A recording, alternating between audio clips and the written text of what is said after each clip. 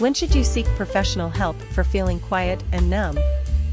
Feeling quiet and numb can be a sign of underlying mental health issues.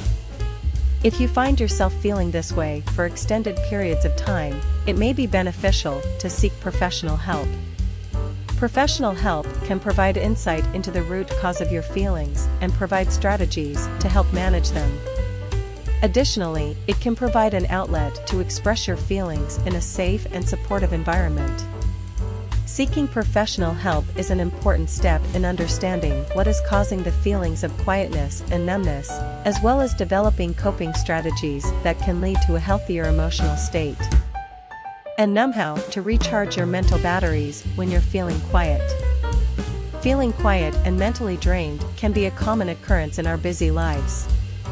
But it's important to take the time to recharge your mental batteries so you can stay focused and productive. Here are some tips on how to recharge your mental batteries when you're feeling quiet and exhausted. From taking breaks throughout the day to engaging in activities that bring joy, these strategies can help you get back on track and feeling energized. What causes us to feel quiet and numb? Feeling quiet and numb is a common feeling that many people experience.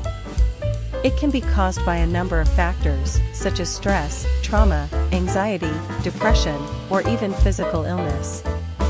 Understanding the causes of this feeling can help us better cope with it and take steps to improve our mental health. In this article, we will discuss some of the most common causes of feeling quiet and numb and how we can address them. Understanding your emotions and finding ways to cope. Understanding our emotions and finding ways to cope is an important part of life. Our emotions have a direct impact on our physical and mental health, as well as how we interact with others. It can be difficult to identify and process emotions, but it is essential in order to live a healthy and fulfilling life. In this section, we will explore different ways to understand our emotions and find effective coping strategies. We will discuss the use of mindfulness techniques, cognitive behavioral therapy, CBT, journaling, and other tools that can help us manage our feelings in difficult times.